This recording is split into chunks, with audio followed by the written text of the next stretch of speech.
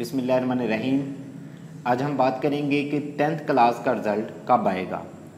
तो अगर हम बात करें टेंथ क्लास फेडरल बोर्ड की तो उसका रिज़ल्ट कल आएगा, यानी बीस तरीक को आएगा। तो यहाँ पे आपने लिखना है, फेडरल बोर्ड रिज़ल्ट 2020 तो पहला लिंक फेडरल बोर्ड का है।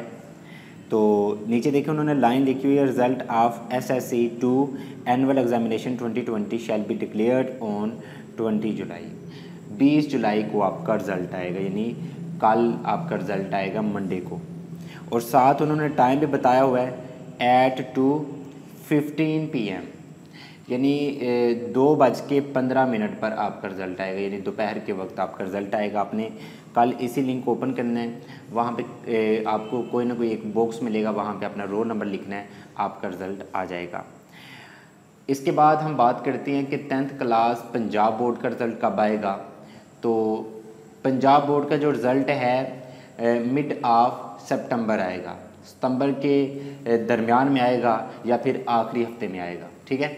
उससे पहले रिज़ल्ट आने के चांसेस बिल्कुल नहीं तो आज की वीडियो का मकसद यही था कि आपको ये बताया जाए कि फेडरल बोर्ड का रिज़ल्ट कब आएगा और पंजाब बोर्ड का रिज़ल्ट कब आएगा। अगली वीडियो में हम आपको बताएँगे कि पंजाब बोर्ड के टेंथ क्लास के पेपर्स कैसे चेक हो रहे हैं। तो उसके लिए आपने इसी चैनल को सब्सक्राइब कर लेना है, साथ जो आपको बेल आइकन मिले उसे प्रेस कर लेना है, ताकि जो ही हम वो वीडियो अपलोड करें, उसका नोटिफिकेशन आप तक खुद ब खुद पहुँच सके।